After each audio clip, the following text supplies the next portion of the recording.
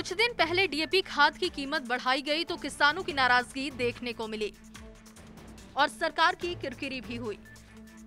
जिसका असर ये हुआ कि केंद्र सरकार ने अब डीएपी खाद पर दोगुनी से ज़्यादा सब्सिडी बढ़ाकर किसानों को राहत दी है। मतलब ये हुआ कि किसान एक बोरी खाद पुरानी कीमत पर ही खरीद सकेंगे।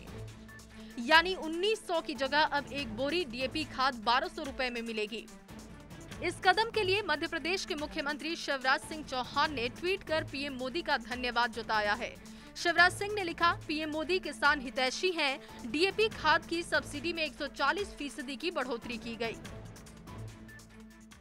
डीएपी खाद, जिसकी कीमतें 140 प्रतिशत बढ़ गई थी, और कीमतें बढ़ने के कारण अगर मूल कीमत पर डीएपी दिया जाता तो चौबीस सौ रुपया प्रति बोरी खाद किसान को मिलता। लेकिन प्रधानमंत्री जी, भारत सरकार पाँच सौ रुपया प्रति बोरी पहले से ही डीएपी पर सब्सिडी दे रहे थे। अब ये बढ़ी हुई कीमतों के कारण ये पाँच सौ रुपया प्रति बोरी की सब्सिडी बढ़ा के अब बारह सौ रुपया प्रति बोरी कर दी गई है। सात सौ रुपया प्रति बोरी सब्सिडी किसान के लिए बढ़ाई गई है डीएपी पर। और इसका परिणाम यह होगा कि चौबीस सौ की बोरी किसान को केवल बारह सौ रुपया में मिलेगी। वहीं छत्तीसगढ़ के पूर्व मुख्यमंत्री रमन सिंह ने भी पीएम का धन्यवाद जताया है। रमन सिंह ने पीएम मोदी के कदम को किसानों के लिए अहम बताया।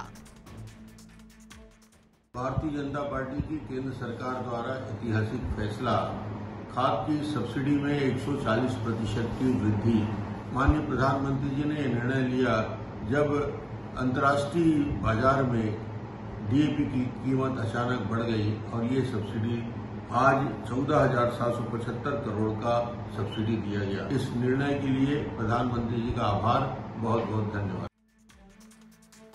वहीं केंद्र सरकार के द्वारा खाद के दाम न बढ़ाए जाने का क्रेडिट कांग्रेस ने अपने खाते में लिया है।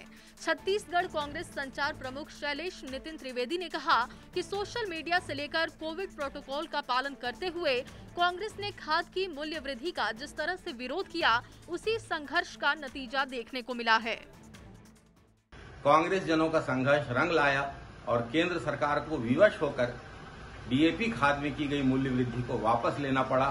यह किसानों की जीत है, यह कांग्रेस कार्यकर्ताओं की जीत है, यह संघर्ष की जीत है।